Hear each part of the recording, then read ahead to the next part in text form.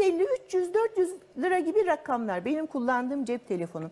Şöyle bir şey Vatandaşın var. parası değil mi? Bakın. Yani- vatandaşın parası sokağa gitmemiş. Nereye gitmiş? Nereye gitmiş? Bakın devlet, bu meclis, bu ne?